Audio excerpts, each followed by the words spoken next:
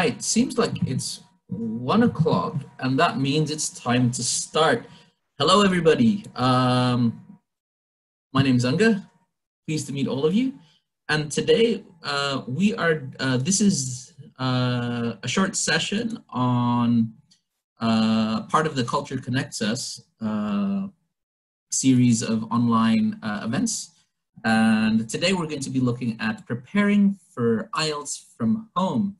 So I, I see there's already quite a few participants um, already in the, in, in the session. And um, if you have any questions, do feel free to plop them into the question and answer uh, bit down in the bottom. So on the bottom, you should be able to see a bit which has a Q&A. If you have any questions, you can put them on there. The chat, leave it for things that you just want to talk about uh, in general, okay? So um, before we start, you should know that we are going to be recording this session. Um, just make sure that, um, what do you call it?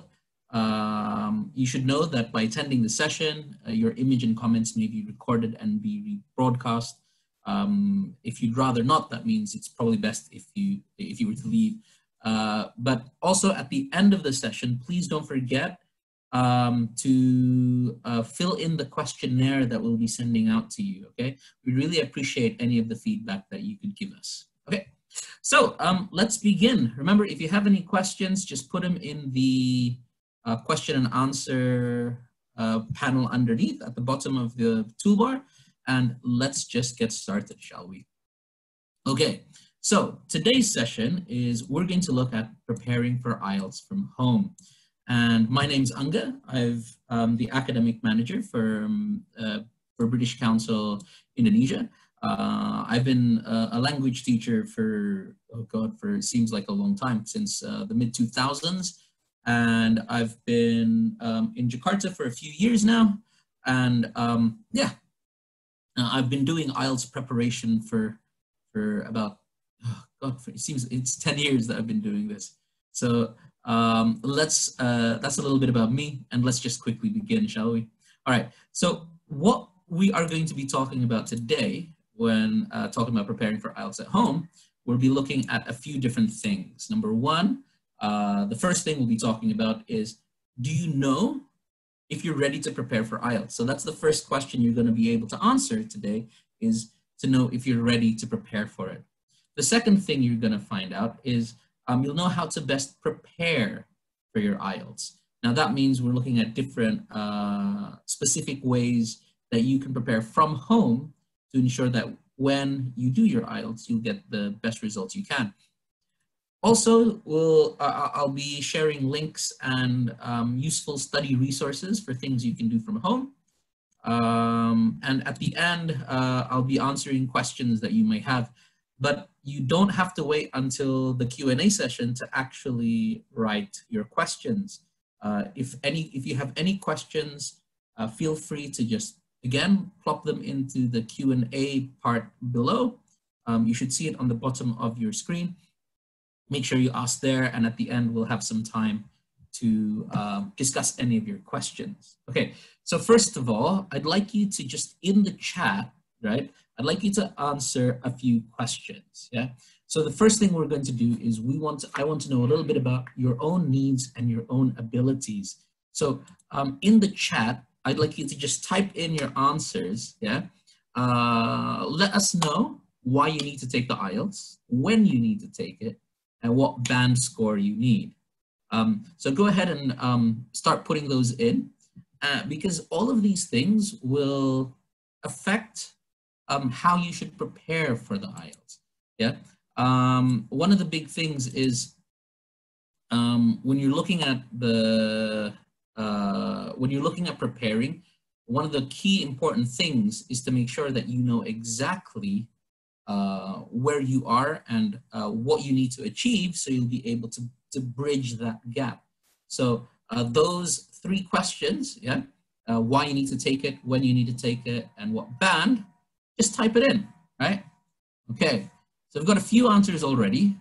Um, studying abroad, okay, around August, September this year, Zafira says, and a minimum of 7.0. So that's good. These are the questions, Zafira, that you need to answer for yourself. You need to know these things. Um, so make sure you do know these things, okay? Um, just keep putting them into the chat, uh, everyone, and um, uh, this will kind of change the things that I will be talking about later on. Ooh, oh, it looks like Rio has got some, uh, quite a long time to prepare. He's planning on doing the IELTS in 2022. So that's good. You're here super early to prepare for that. Okay. Cool, cool, cool. All right. So um, keep putting them in and I'll be uh, commenting on them as we go along. Okay. So uh, oh, it seems like everyone needs the same thing. Everyone wants to just study abroad. Uh, probably next year. Okay, so uh, let's have a look into what you need to know. Yeah.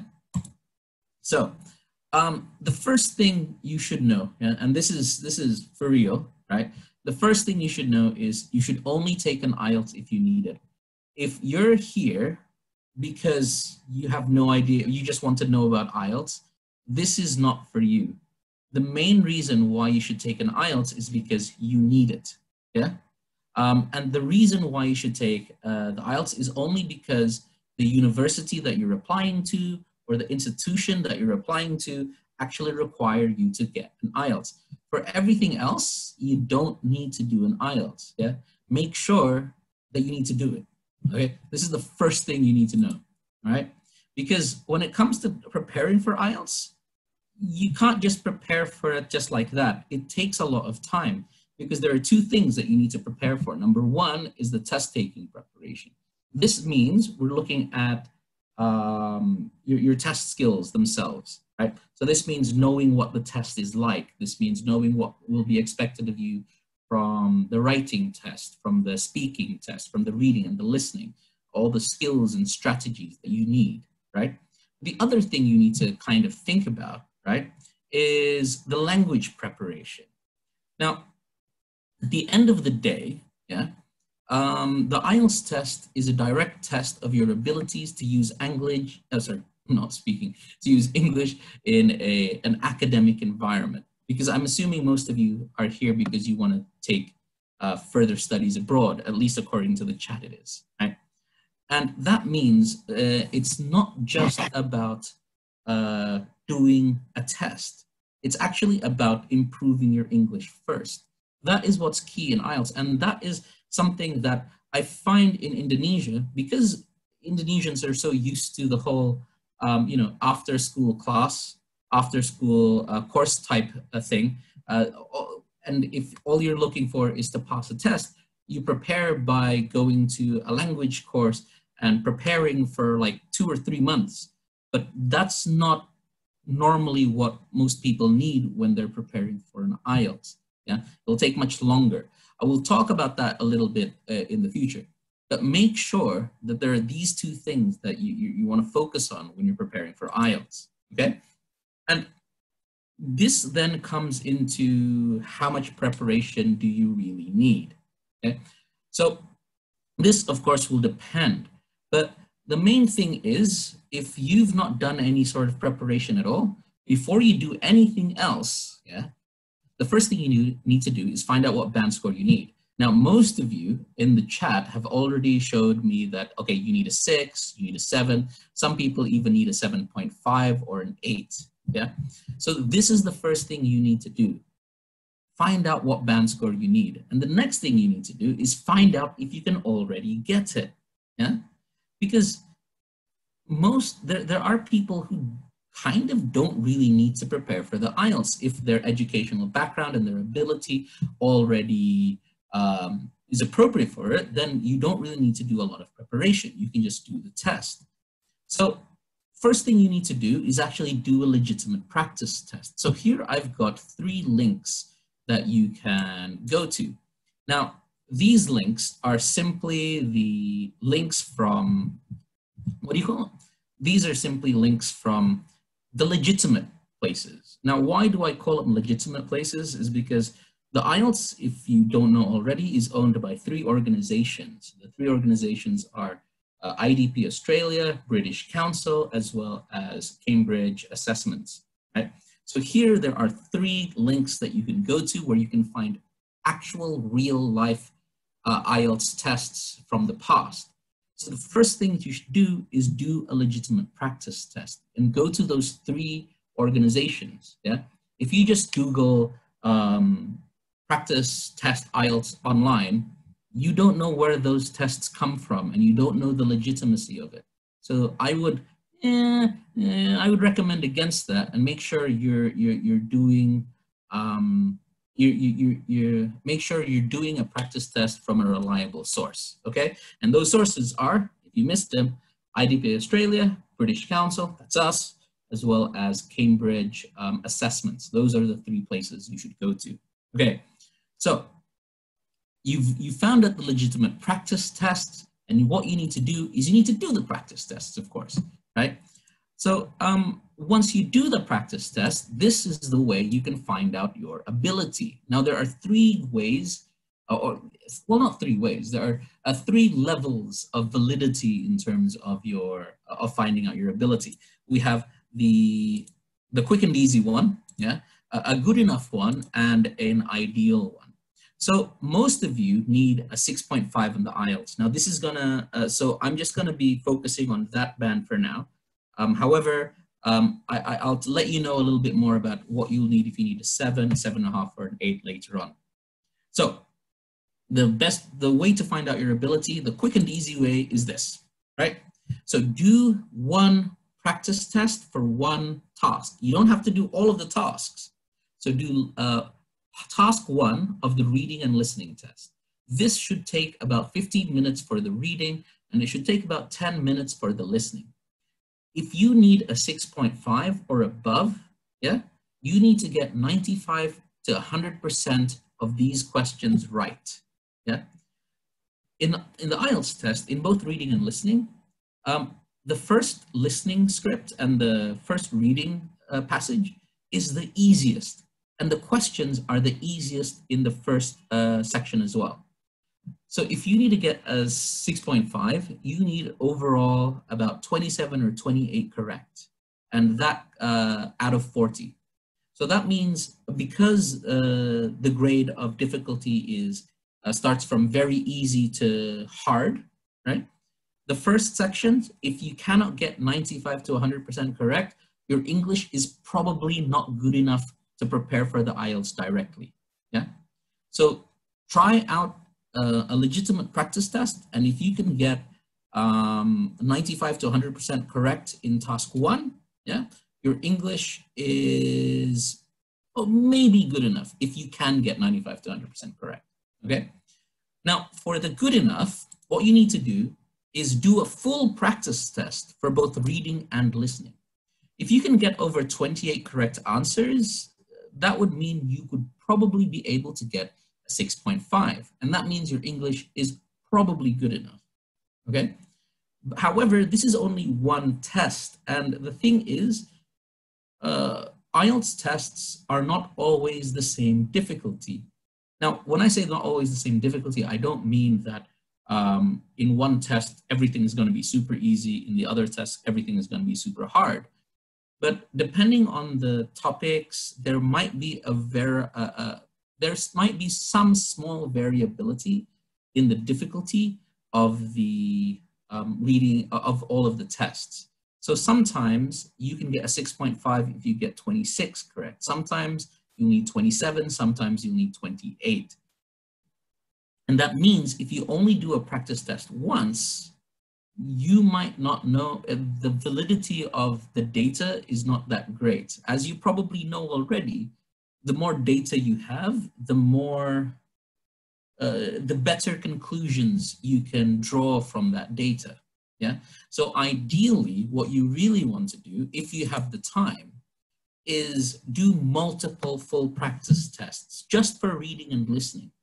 If you can consistently get 27 out of 40 correct, in several full practice tests, that means your English is probably good enough. Yeah, probably being the main word here, because of course it does depend on uh, many factors, including if you feel good during the day. You never know. Like in the real IELTS test, you might be feeling kind of sick and you might do actually more poorly. Or during the actual IELTS test, the topics might be about something that you're already super interested in and you have some background knowledge so you'll be able to get a higher score. Yeah. But what's key is the first thing you should do is always find out your ability. Yeah. Now, once you found out your ability, yeah, what we need to look at is what is good enough. Because a lot of people I'm seeing, um, all you've got is the number. I need a six, I need a seven. Uh, but what actually does, uh, what actually six, band seven actually mean? right? So when I'm talking good enough, I'm talking about a band six-ish kind of level. Now, what does that mean in real terms? Well, it's this. If you're a band five, you have partial command of the language and you can cope with overall meaning in most situations. So this means that you're able to use English okay. And for example, when you are doing, when you're um, becoming a tourist and you're traveling and you can deal with most situations there. You can um, order food, you can complain about your hotel and things like that. And you can do it okay, not great, but communication uh, is successful, as in the other person understands what you mean. Now, what band six is, you have an operational command in familiar situations. Now, this means that you can already start working in English. Yeah. If you have a band six, that means you're already kind of good enough to uh, use English day to day at work for most of your working uh, tasks. So, uh, you know, like asking a colleague when the next meeting is, uh, participating in, in, in, in more general topics of meetings and stuff like that. Uh, however, band seven is you have an operational command and you have an under, you can understand detailed reasoning this is where you're starting to become more fully able to participate in work uh, work meetings or when you're more better suited to um, understanding academic language. And for most of you, right, um, if you're looking for an undergraduate degree, a six or a 6.5 is usually enough. For postgraduates like master's degrees and for even for undergraduates at the very, very top universities like Oxford or Harvard, you might be uh, required to get a band seven, yeah? But then again, some of you might only be interested in doing like um, a culinary course, for example. And I know that there are culinary courses in Australia that accept a 5.5 or a six. So what is good enough? Well, it depends on your, um, it depends on your goals and your aims and what the university requires of you. But also, yeah, you should know what band six actually means. And this is where you can reflect on yourself. Think about it and be brutally honest with yourself. Is my English actually good enough to understand most um, conversations at work? Uh, for familiar topics? Am I able to communicate my ideas clearly? If not, you're not there yet and your English is probably not good enough as well, right? This is something that you need to be able to identify yourself as well, okay? And once you've got that, you can do a quick practice test. Like this is an example, yeah? Uh, you can find, I, I swear to God, there's so many um, IELTS uh, practice tests from actual good places. Like this place is, it's from IELTS.org. So it's literally from the people who make it. So do that, yeah, as soon as you can, if possible, yeah?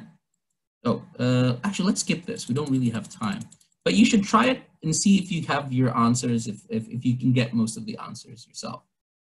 So once you've done a practice test, the next thing is you know, what's next, right? You know what you need to do. You've done the practice test. You can kind of guess your ability already. What should you do now? Well, if your English is good enough, well, that's relatively simple. If you're able to get 95, 100% correct on the reading or listening task one, your next thing is to decide on a computer delivered IELTS or the paper and pen one. Now you might have heard about this, but uh, there's now computer delivered IELTS where instead of writing, you're typing. Now, this will depend on you. I mean, me personally, I do not want to do a paper and pen one because my writing is horrible. Nobody's able to read my writing. And to be honest, the examiners, they're humans too. So if they if they see your writing and your writing is poor, they might not want to, you know, uh, they will find it difficult to read your writing. So it's going to be a little bit harder for them to give you the, the, the score that you actually deserve, right? However, there are some uh, disadvantages to it as well. But basically, this is something that you should consider. Yeah. First, you need to decide on that right? The next thing is you need to find a course that finishes at least two months before your IELTS deadline. So for example, um, we've got, uh, let's see. So for example, here we've got Chitra Ashila who wants to study abroad in 2021. So probably intake in 2021, if you're going to the UK, intake is in September. So that means you'll need to get everything into the university by August at least. That means your course should end at least Yeah, at the very latest, it should end around June. Why do you need a two month lead time? Well, however much you prepare on the test, you might not actually do as well as you wanted or as well as you need. So you might have to actually redo the test. That's why we recommend finishing a course at least a few months beforehand, so uh, before the deadline, so you're fully um, you're fully um, prepared for it. Because if you need to do it now, if you need to do the test now and you're not prepared, it's kind of too late. Yeah, you need to figure. Uh, you need to prepare as soon as possible. If you're even if your English is good enough, you need to prepare because those those um, there are test taking strategies that if your English is good enough but you don't know the test taking strategies, you will lose marks. Yeah. So make sure you plan well, well, well in advance. Okay. So um, if there's any questions, make sure you put it in the Q&A. Yeah. Right now, I've got um, two questions, which we will get to at the end. Yeah. But if you have any questions about this, make sure to put it in the Q&A box. All right. Mm-hmm. Right. So now comes to, the, this is going to be the longer part of the session, which is if your English is not good enough, what should you do then? Well, it's simple. If your English is not good enough, start learning English in general. Don't even start think, don't even think about doing IELTS preparation just yet because you're going to be so, you're going to have too much information you won't be able to process it, that you won't be able to develop your English in general. Yeah. So when we're talking about preparing for English in general, why should we do it? The main reason is this. Okay. Have a read of this. Okay. According to experts, students struggle with these kinds of exams because they have difficulties understanding the content of the test. The content, right? Basically, what this means is people fail IELTS not because they don't have the test taking skills. You might have all the test taking skills, but it's kind of useless if you don't understand the reading, if you don't understand the listening, yeah? Because you don't fail because you don't have the test taking skills, you fail because you don't understand what is said on the test. You don't understand the vocabulary in the test. You don't understand the structures. You don't understand the instructions sometimes because you don't understand the English. Uh, when the examiner speaks to you in the speaking test, you don't understand the questions that are given to you and you don't understand and you don't know how to communicate your ideas. Because even though your English might not be great, I have no doubt that all every single one of you are smart people and you have great ideas, right? But the thing that's going to bring you down isn't your lack of ideas or your lack of test taking skills. It's your lack of ability in translating that idea from your head into words that the examiner can understand, okay? So this is key, yeah? The first way you should, uh, you should try to think about developing your IELTS ability is developing your general English ability. I know it sounds weird, but that's what the research suggests. So the next question then comes is how long will it take for you to be fully prepared? if your English isn't good enough? Well, of course, it depends on your current ability and your goal, right? Now, according to research, um, it can take up to 200 hours of guided learning to go up one band in IELTS. Now, what that means is that you there it can take 200 hours of learning with a teacher to go up one band. And this is not about test taking skills, this is about English language ability in general. So you think about 200 hours and you go, oh my God, that's way too long. That's too much. And you know what? I agree with you. 200 hours of learning with a teacher is a lot. And I don't think anyone really has enough time for that. So what are some ways we can speed it up? Yeah? So if we want to speed it up, there are loads of ways. And this is where we start the main ideas of uh, this webinar. So what should you do? Well, the first thing is um, language immersion. Now, I'll, we'll be talking about that later. That's number one. Number two is self-study materials. Three are MOOCs. Uh, we'll, we'll look into all of these later on. And the final one is, of course, online classes. So first of all, let's talk about language immersion. Okay, so research suggests that being exposed to your target language and then using it is more beneficial than learning using traditional methods. So basically this, let me translate into that into simple words. It basically means research suggests that reading, listening, and watching to watching things in English, and then talking to other people and writing in English to other people is actually more beneficial than studying with a teacher. Seriously. Now, I know this for a fact because I grew up in Australia. My first language is actually English. I myself am Indonesian, and when I came back to Indonesia, all I could say I could only say nama saya Angga and rumah saya di Jalan Kalimantan. Those were the only two sentences I could actually say in Bahasa, right? But after just one year of living in Indonesia, because my mom and dad stopped speaking to me in English and I was put into a school which used Bahasa, that was the language I heard every day. That was the language that I had to use every day. And even though it was really difficult, after a year, I was able to actually follow most of what was happening at school. I was actually started to be, I actually started to be able to learn using Bahasa, right? And, and, and having been here now for, you know, decades now, um, now I can actually speak Bahasa really well. If you and I, we met on the street, um, you would not even guess that my first language is not Indonesian because I speak Indonesian very, very fluently now.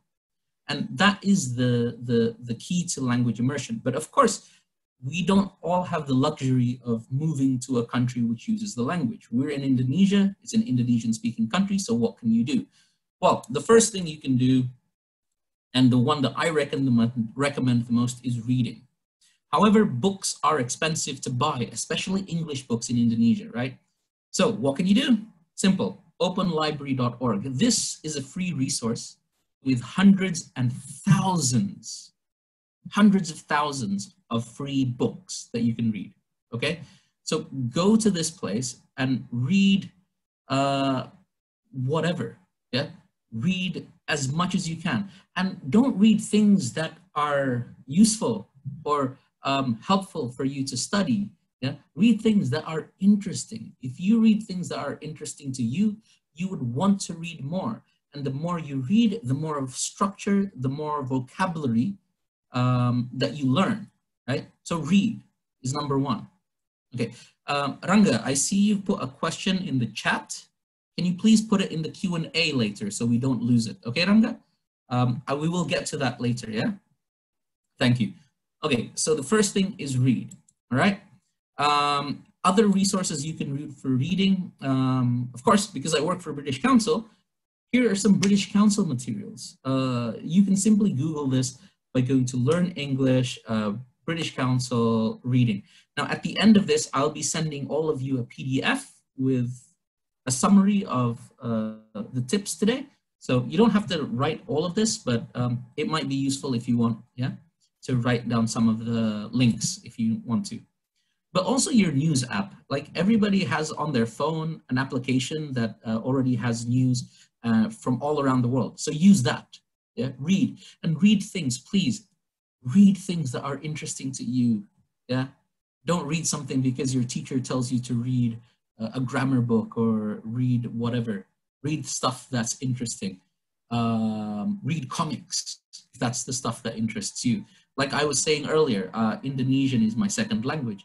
I learned Indonesian mainly from oh, what was that comic? It was a it was a kung fu comic, right? Oh, I forget what it was, but it was basically a kung fu comic and and it was Doraemon. Those were the two comics that I read the most, and that's how I started to learn Bahasa. Okay, so read is number one, and of course you should listen. Yeah. Now for listening to things, it's best to use podcasts so go to Apple Podcasts or you can go to Stitcher Radio and there are loads. Honey's got it, Kung Fu Boy. That's it. That's it. Sorry, I'm, I've got the chat open and I can see it. And that's the thing. No, but Fauzi, you're right. It is Doraemon, but it's also Kung Fu Boy. What was his name? Chinmi? Was Chinmi? Yeah, I think Chinmi was his, uh, whatever. Okay, so the, uh, go to go to a podcast app. Yeah, uh, you can go to Apple Podcasts if you've got an iPhone. If you're on Android, you can go to Stitcher Radio, you can go to Google Podcasts. There's loads of podcasts. And what podcasts are, which is quite amazing that not more Indonesians listen to podcasts, is they're basically radio shows, pre-recorded radio shows that you can listen to whenever, wherever. You download it onto your phone. And what's great about podcast apps, a lot of them have, um, you can slow down the speakers or you can, you know, make them go quicker. So if you guys are language learners, which I'm assuming all of you are, um, you can slow it down to 80% or 90% speed. So, oh, or yeah, use Spotify. Yeah, uh, Spotify also has podcasts all over the place, so use that. I personally don't use Spotify because it makes it difficult for me to, um, what do you call it? To curate the ones that I like to listen to. But yeah, podcasts on Spotify, there's loads there. So listen to podcasts and don't listen, again, don't listen to things because your teacher tells you to. Listen to things that are interesting. If you like funny ones, listen to funny ones. If you like uh, economics, listen to economic ones. If you like the news, listen to those. If you like to read, if you, yeah, whatever it is, listen to things that you want. But also, if you want to do something that's more focused on learning, well, British Council has your back as well. We've got free British Council Learn English podcasts, and all of these, there are podcasts for lower level students, for intermediate students, for uh, higher level students, and they're all free. They're all free, yeah. And and most podcasts are free as well. I mean, some of them ask for donations, but they're free. So listen to them, and especially find the apps that you can slow down uh, the speed at which they speak. So you know it's easier for you to understand everything. So do that. Yeah, listen. The next thing is, of course, watching things. Yeah. Now, the two things that I recommend the most are YouTube education, uh, sorry, education YouTubers as well as TED Talks. Now, the thing about TED Talks or TED Ed, which I'm a super fan of, and education YouTubers, the reason why you should watch this is because these people are trying to teach you things. And because they're trying to teach you things, they will speak using simple language. Not only will they use simple language, they'll use language that's uh, for, for a super, super wide audience like one of my favorite YouTubers is Tom Scott. He's an education YouTuber, um, not always super educational, sometimes funny, silly things as well, but he speaks a little bit more slowly than most YouTubers. He speaks using vocabulary that is known to most people. So again, it's easier to understand, okay? And the same thing with TED Talks or TED Ed, and especially these because they all have closed captioning, they have subtitles. That's what's great about education YouTubers and TED Talks guys, uh, TED Talks and TED Ed videos, is that all of the subtitles are there because they care about learning. They will actually put the time and effort into putting subtitles or making sure that their closed captions are good, okay?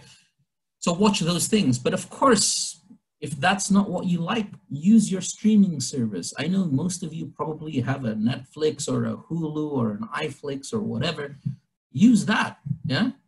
And um, yeah, watch whatever. Use English subtitles though, because if you're not using English subtitles, you're kind of missing the point. And that means if you want to watch anime, watch anime. If you like to watch um, Korean dramas, watch Korean dramas. Do whatever. Just use English subtitles and this will help you. What this does, this reading, listening, and watching, is it helps you absorb the language. It helps you get a kind of um, hear and read new vocabulary, uh, new structures, new ways of uh, you know um, communicating ideas, and that is super key. But what's more key than that is you also need to match that with using the language. You need to speak. You need to get into places like this and talk to people because use it or lose it. Basically, if when you read things and watch things and you learn new things, it goes into your brain, right? However, the it's not going to stick into your brain unless you use it. Yeah, it's kind of useless to have input like the, the the books that you read and everything else unless you actually use it because you will definitely forget everything. You'll forget it, I promise. So you need input and you also need output. where can you get this output? Where can you find people who are, um, you know, where can you find people who also want to improve their English? It's easy. There are, if you go to Google, you will find uh, WhatsApp groups that are dedicated to people practicing their English. There are Facebook groups for the same thing. Even things like this, if you go to any of the other Culture Connects Us events, you will see other people who are trying to improve their English. If you make two, three, four connections during this time, you'll be able to definitely find other people for, to, for you to practice with. Yeah, so immersion, that is key, number one, okay? Always the best.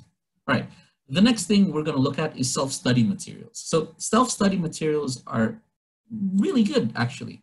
But again, don't do this because you have to find something interesting, yeah? It's all about what get, gets your interest okay?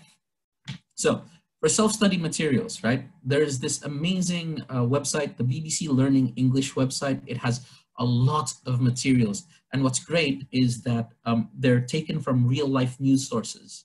So you're learning real life English, right? That's great. Another good thing is, of course, British Council. We have lots of language learning apps. If you go to the App Store on uh, your iPhone, or if you go to the Google Play Store on your Android, just Google British Council apps and you'll see loads of them. There's a free one about grammar. There's a free video one. There's, uh, there's the podcast one, right? There's loads of things, okay? Look for that. You can also even look at Learn English Select. Now these first two are free. Learn English Select is something you pay for, right? It's, it's, it's another British Council um, product. Find those things and actually use them yeah, it's it's actually very useful to do. Um, oh, oh, of course, Quizlet.com. Quizlet is a vocabulary. Uh, what do you call it? Uh, I, I can't think. It's a. It's no no, cards, no cards, uh, no cards and stuff. So you know you have the the word, and then you flip it over, and then you have the definition, but it's just digital there's a bunch of materials already made on Quizlet for just you learning English. It's great, yeah? Use it, yeah? Uh, they're all free except for Learn English Select, but everything's good. But then again, remember, you have to use it or lose it. So even if you're doing all of this stuff, make sure you actually uh, practice using English. If you don't practice, you're gonna forget all of that language, okay? You are, you are gonna, yes, thank you. Flashcards, that's what I was thinking. Uh, thank you, Rito. I totally forgot, totally blanked that word. See, you don't use it, you lose it. All right, so make sure you actually practice it.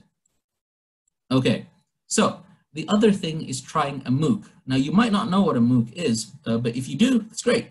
A MOOC is a massive online open course, and usually this is, they're made by top universities, uh, well, not just top universities, but they're made by universities all around the world, and they're usually free, right? Um, so what's great about this is that not only are you learning a topic, like if you're, I've done a MOOC, it was about, um, uh, what do you call it? It was about world history. It was fantastic. I loved it. And not only is it something that I love, that I want to learn, and something that you probably want to learn for, you can also use it to improve your English because you're going to be using the English for the lectures, for the discussions, for the papers that you have to write if you need to, right? But then again, you know, um, you have this input, but you need to use it. So make sure that you're using it in the forums and in the discussions and the papers. And this means doing a MOOC can really help you improve your English as well because you're getting new ideas, you're getting new language, and you're able to use it. And what's more, because they have discussion forums and they have uh, these communities, you'll be able to communicate and uh, you know connect with people who also want to learn English, right? So this is doubly great. Use a MOOC, right? So some uh, MOOCs you can use, you've got Udemy, FutureLearn, Coursera, edX.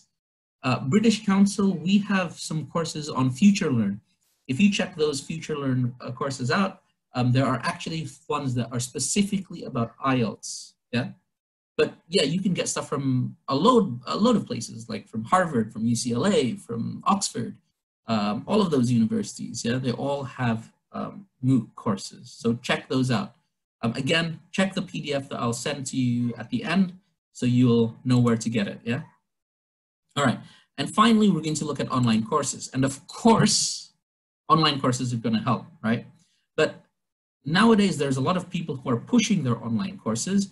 And the question for you guys is how do you know if it's good or not? So, um, you know, who are you going to, how are you going to assess whether or not the, the, the organizations or the companies that are selling you an online course is good or not?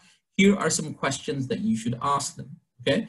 So if you're looking about the quality, the first thing you should uh, ask about is the quality of the teacher. Now we're looking at the qualifications. And the qualifications that you want to ask for is something called CELTA or Trinity TESOL. Yeah, look for uh, what do you call it? Look for uh, language schools that have CELTA or Trinity TESOL qualifications. This is the standard, uh, the minimum standard that all English teachers should have, either a CELTA or a Trinity TESOL, um, to see if they're actually any good at teaching. Yeah. Now, trust me, I've I've been doing um, uh, teacher development and I've been doing uh, hiring for many years. And if they don't have these things, their quality, eh, not great, not great, not great, not great. So make sure you ask this question first. This is question number one. What are the qualifications that your teachers hold? If they cannot answer this or they do not answer this, then you know this place, eh, not great. Okay, the next thing is they have to have face-to-face -face sessions with fewer than 10 people. Now, why am I saying face-to-face -face sessions when we're doing it from home? What I mean is stuff like this. If they're selling you courses with hundreds of participants for every video or for every lesson, don't do that. Yeah, you need to have these online courses that are face-to-face where you can see the teacher and the teachers can see you and you can see the other students. And it has to be fewer than 10 people because anymore and you won't get enough FaceTime with your teacher and your teacher would not know your own development. Yeah. Because that is what's key. Whatever I teach you is not what's important. What's important is what you teach me. And what I mean by that is I need to know how well you understand what I taught you so I can give you personalized feedback. If I teach you, I don't know, a Pythagoras' theorem, for example, I teach you that, and that's it, then you wouldn't have learned. If I teach you that and then you try it, and I can say, oh yeah, that's actually pretty good. You're doing the right thing there. Or, oh, I see that this is the problem. You need personalized feedback. Yeah. So ask for clear, actionable feedback that can help you improve. These are the three minimum requirements that you should ask of your language learning institutions make sure they have that. If they don't, go somewhere else, right? Unless they're super cheap. I guess if you're super cheap, then yeah, sure, whatever, right? But if you want to have a good value for money, make sure these three things are, uh, are there. Okay, so um, because I also work for the British Council, we've also got language learning, um, what do you call it? we have a, a, a teaching center as well. Um, you can check it out at British Council Foundation.id or our Instagram is ID Learn English. Right now we have free, what you call it again? We have free trial lessons and I think they start from one and a half million the courses do. Yeah, so you can check us out if you want to. Um, yeah, and, and that's what you should do, right? So when you talk about how you get better, remember the four things, language immersion, self-study, MOOCs, and online classes. Those are the four ways that you can develop and be better, all right?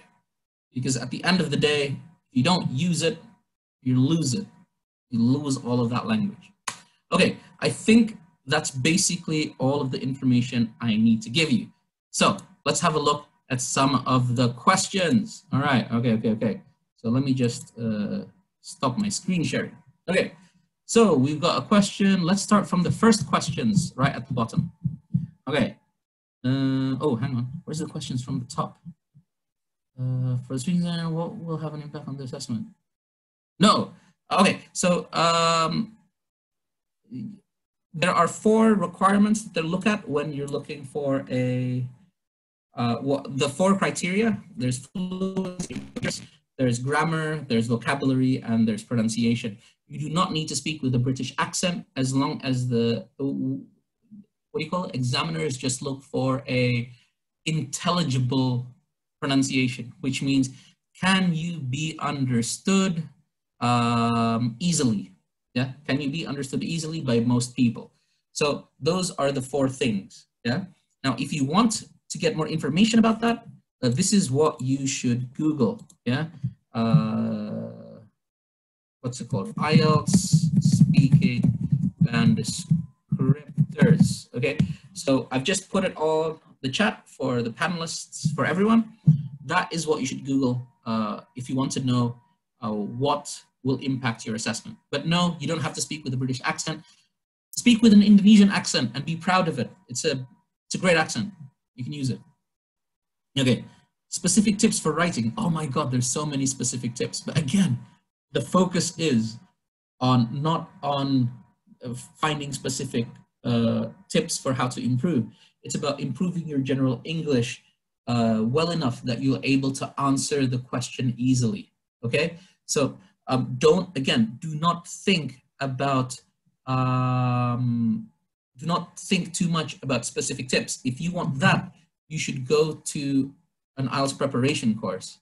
The key takeaway from today is please, please, please, please, please prepare for English in general. Make sure your English is good enough in general. Yeah?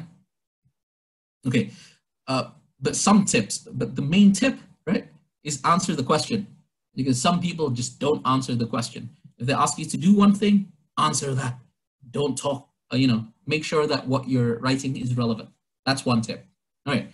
So how do we prepare for speaking? How to answer? Okay, if you're not familiar with a given question, just say so. Be honest. If somebody asks you about, um, so what do you think about, uh, how, does um, tourism affect uh, the environment and how does the environment then uh, you know, uh, environmental damage, does that affect tourism? And then you go, just say something like, you know what, I've actually never thought about that. I don't really know. I've never, it's not something I really think about, but I guess it might, you know, it, it might. I mean, I'm assuming.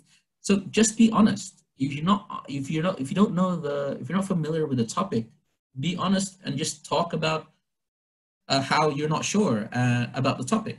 The, what they're what they're looking for, the examiners, they're not looking for, do you understand the topic? No, they just want to know if you can communicate your ideas clearly. So yeah, don't stress if you're not familiar with the question. Just answer and be honest if you don't really know. Right. Mm, right. The Ranga's got another good question. Uh, testing Okay, so he's saying that uh, the score might fluctuate between the first and second test. Uh, the first test, you do listening, it's seven. Second test is 6.5. How could you maintain our score increases? Well, that's, that's a bit of a difficult question. Basically, um, you will have a range of ability. Yeah, your ability is not one fixed point; it's actually a range. So um, it kind of depends. Is your is six point five towards the top of your range or towards the bottom of your range? because there's a lot of, um, in exams, we call this um, test reliability. And test reliability is whether or not the same, uh, the same um, test candidate will receive the same score on the same test on a different day. The IELTS has been tested rigorous, rigorously to make sure that the reliability is high. But basically, it kind of depends on the day because on, on the first day, if you got a really good listening score, it might be because the topic is familiar with you and you know the vocabulary. But in the next time you try it, you drop the score because you're not familiar with the vocabulary, so you can't answer the question. So that's the difficult thing. Um, the best way to make sure that your test, your test answers, uh, your sorry, your test scores are good, is again developing your general English. Yeah, because uh, you know listening for today might involve something about animals and the other day it might be about geography so there's there's no real easy way to answer that you just need to develop your english in general okay Okay, so uh, Ranga's also asked the question between uh, def main difference between writing band six and seven. There is a lot of differences, a lot of differences. Um, what you could do, right, is again, this is something you can Google. Um, hmm, sample answers and sample answers writing, uh, IELTS writing, and then make sure you look for answers from IELTS.org. IELTS.org actually has, uh, IELTS.org actually has samples of past uh, IELTS tests. So we have actual students who've actually taken the test and there's actual um, comments from examiners. It's going to be so difficult for me to tell you what they are. Check that out. So again, sample answers, IELTS writing, and then look for it from IELTS.org. Ah, okay. Oh, Nora's got a really interesting question. Um, the most effective way of improving English is by using it every day. How do we know if what we're writing or we're speaking, how do we know if it's right? Okay, this is a super easy answer, uh, question to answer. How do you know if it's right? is if the other person can understand you. That's literally it. Now, you might then start saying, hey, Angga, what about grammatical accuracy? And I would go, yeah, grammatical accuracy is a thing, but native speakers make grammatical errors all the time, and they don't call them errors, they just call them different um, types of English. So in real terms, all you have to know, all you have to make sure of is the other person understands you. Yeah, that is key. However, on the IELTS, I can understand why people go, yeah, but Angga, they also check our grammar and vocabulary, right? Yes, they do. But it's not just grammar and vocabulary that they're checking. In speaking, they're also looking for fluency and coherence. They're also looking at uh, pronunciation. So for example, if you need a 6.5 and your grammar and vocabulary, there's errors, that's fine because you can do well on the other two um, criteria and that will give you a higher score as well. So again, focus on communication. That's great. That, that's a really good question. Okay. Um, this recorded, will this recorded, will this, uh, will this recorded session be shared with us through our registered emails? I have to ask the other panelists. Um, uh, can, can Rizky or Intan, can you let me know if that's gonna happen? Will they actually, uh, will be shared? I'm not sure. Um, Sorry, Fauzi, I don't know the answer. I just I, I just do the presentations. Mm. We'll share uh, the recording uh, into our website, so oh. you stay tuned our website. Okay, okay. So just check our website, and then you'll be able to see it. Yeah. All right, that's great. That's great. That's great. Okay, so okay, we've got about five more minutes to go for questions. And we take IELTS preparation partially in British Council for and listening. Oh, yeah, yeah, yeah, definitely. What is interesting about at least, okay, this is a bit of an ad. I apologize, but it's a bit of an ad. When it comes to British Council learning, what you do, it's, it's like buying uh, phone credits, yeah? So uh, for in British Council, let's say that um, you pay for, let's say 40 lessons. You pay for 40 lessons. And that 40 lessons, you can choose what to study. You can choose what to learn. That's what's great about uh, the, the way that we do things. It's called My Class, Kristen, and um, and what you do is basically uh, you, there is a there is a, a website that you go to and you can look at all the lessons we have for the week and then you click I want to book that one, I want to book that one, I want to book that one and you can just focus on the stuff that you need. Yeah. So that is definitely something that we do at the teaching center. Um, Kristen um, I'm sorry, I, I can't, I don't know how to pronounce your last name, Christine Pajau. Sorry if I butchered that. But if you put your email in the chat away for us, no, actually, we'll be able to figure it out. Yeah, we'll find, or just put your name in the chat, or um, and I'll get one of the, the team from uh, my colleagues to email you to figure something out. Yeah, um, I think Hani's around, and she might be able to help. Uh, what do you call it? Connect you with um, some of our people at the teaching center. Okay. about some bird news that we do have really same all British. I have no idea what you're talking about, Moody. Um, I, I'm sorry, but could you could you just re rephrase that question? I'm not entirely sure um, what your question is, Mahmoudi. All right. So Firda's got a question. How can I know that I'm enough on learning general English until I can prepare my IELTS? Well, that goes back to the original thing at the beginning. Um, if you're, if you can, uh, if you need a 6.5 and you do a reading and listening practice test and you can consistently get a 27 or a 28, that means you're probably good enough. Uh, go focus on your IELTS. But if your reading and listening isn't good enough to get 95 to 100% in reading, listening, reading and listening section one, uh, that's not enough. Okay, so Firda, hopefully that answers your question. All right. Ubaidillah. Okay, this is an interesting question. The difference between IELTS and TOEFL. They're basically the same type of test. They do the same thing. Uh, it's just IELTS is owned by British Council, um, Cambridge, and IDP, and TOEFL is owned by ETS, I think they're called, and they're accepted by different people.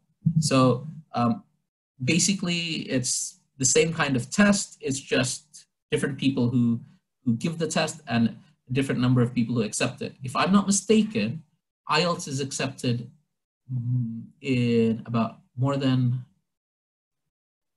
80 i don't know i don't know the numbers but all i remember is that ielts is accepted is more accepted worldwide than toefl. For reading you, oh yeah yes no not given true false not given. Pancha i feel your pain. I feel your pain um, that so pancha's asking about yes no not given or true false uh, not given um, and that is a difficult one. I would not be able to answer that fully today. That's, uh, that's too long uh, to actually do that. We'll actually have to look at a practice test and give you that. So I'm sorry, Pancha, I can't really answer that uh, right now because we won't have time for that. Okay. Um, Christina's got an interesting question. Uh, okay, so the interviewer for the IELTS speaking it, they are there's no it, they don't have to be a native speaker. There are lots of indonesian people that i know who are also ielts examiners and there are people who are not indonesian uh, there are yeah th there's no requirement to be an, a native speaker uh, to be an examiner yeah. All right okay okay that's an interesting question and Okay, I would recommend that you should use subtitles, Frenchie. Um, putting subtitles there, uh, it will help you catch things that you didn't catch with your ears. Um, I recommend using uh, recommend using subtitles, but if you feel comfortable enough that you don't need subtitles, don't use them.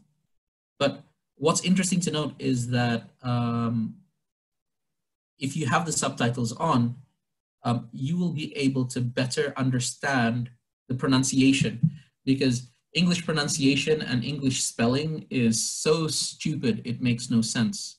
Yeah? So I would always recommend using the subtitles because one, it, it, it, it, it, helps you catch everything that is spoken, that is said in the film or whatever, and it also helps you um, know how things are written. Yeah, because pronounce because spelling in English is, as you know, super weird. Okay, for writing and speaking, well, as I mentioned, okay, so Nisa has a question, an interesting question about how can you practice writing and speaking during the lockdown? Well, there are a few, okay, so you can do an online course, definitely. That's one thing, Nisa. Um, that's a good platform for it. Um, you can also um, find, uh, there are Facebook groups I know where people are speaking English, so they get together and they speak in English for a few hours a week. So that's one thing. Um, and there's one thing from Cambridge, yeah. Uh, English can be so weird. Uh, write and improve. There's a there's this is by Cambridge. Uh, writeandimprove.com. This is a good place to check your eye to check uh, to improve your writing. Um, it's free but if you want to access the IELTS stuff, you have to pay. Yeah. So I recommend that for developing writing. For speaking, you need to find people who want to speak English and talk to them. All right, has to be, oh, that's a cool question. The average IELTS score of Indonesian people. This is interesting because I was just researching this last, uh, the beginning of the year. Uh, 6.2, 6.1, 6.2 is the average. Um, you will be able to see this, um, Hasbi, you will be able to see this online uh, IELTS.org, they have a website which has um, it has a breakdown of all of the uh, people who take IELTS all around the world and their respective averages. Um, I think Indonesian speakers were uh, we're about at a 6.1, 6.2, I think. Okay, so Fauzi's got an interesting question.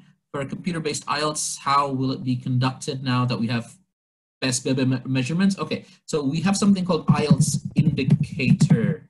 Yeah, so the IELTS indicator is, uh, it's kind of like IELTS Lite. Um, I'm sure our, if you contact our exams team, they'll be able to get it to you. Um, what's, can someone help me with putting in the website for, um, what do you call it? someone put me with a, can someone help me and just put in the website for um, our exams team um, so they can ask questions for the IELTS indicator straight to the people. Uh, so yeah, I'm, I'm hoping a paneler. Oh, that's a good question. That's a good point, Fauzi. Discord. Discord, yeah. If you want to improve your speaking, go play games. Uh, I recommend playing Minecraft, but that's just because I like playing Minecraft. so yeah, finding a, a, a, a Discord channel uh, would be really good for that. Um, finding a Minecraft server. There's a load of Minecraft servers based in East Asia where people are speaking English and it's, it's, it's really fantastic. I love that stuff. Uh, yeah, so thank you, Fauzi, for that really good uh, piece of input. Discord is a great piece of, uh, is, a, is a great app for that. Okay, Fetty's got an interesting question here. Uh, what if the total score is quite good, but my written test is only 5.5? That depends on the university. Some universities will, you know what? Even if you don't get a full, uh,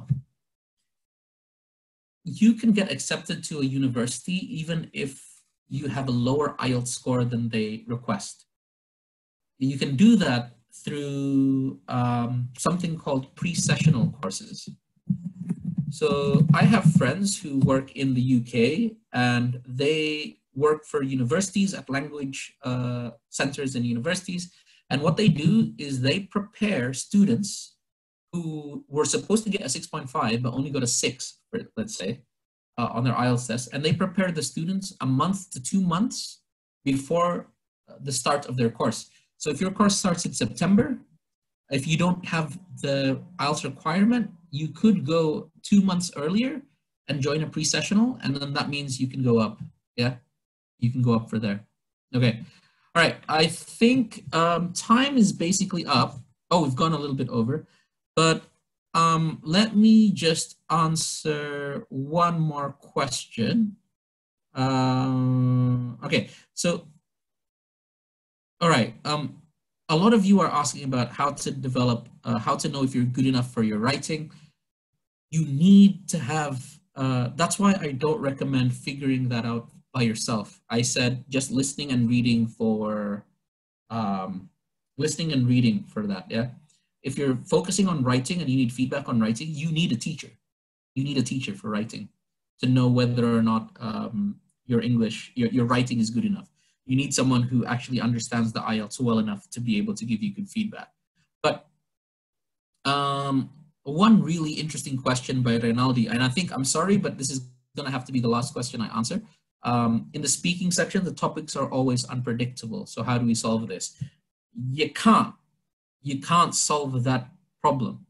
The only way you can solve that problem, right, is by improving your English generally so you can understand a lot of different topics.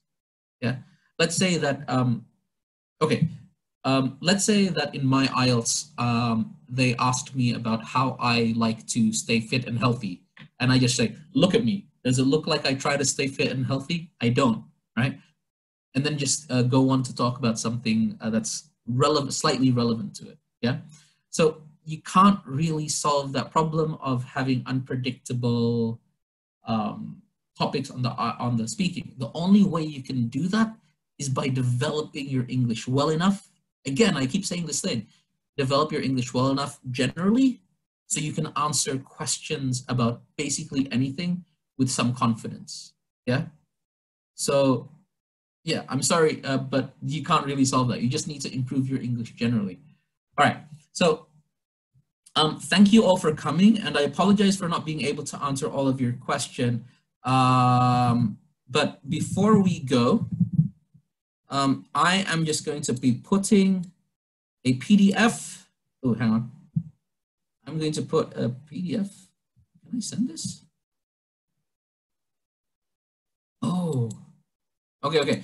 Um, we will be able to send out a PDF to you via email of the materials uh, of, of not the, the, the presentation, but a, a, a, quick document that um, you can read through uh, that has most of the information here. Okay, so again, thank you very much everyone for um, coming. And if you have uh, any further questions, I recommend going to uh, our Instagram at ID Learn English and you'll be able to find uh, you'll be able to find someone to talk to about this kind of stuff there. All right. So again, thank you very much, everyone. Um, and may ah, you're from Bali, Fauzi. All right. Awesome. Awesome. Awesome. Awesome. Awesome. Um, man, I want to go back to Bali now. All right. Thank you, everyone, for coming. Um, uh, and I apologize for not answering some of your questions. I know that you had a lot, but we didn't have time. Um, and um, may you have a wonderful weekend. Bye, everyone.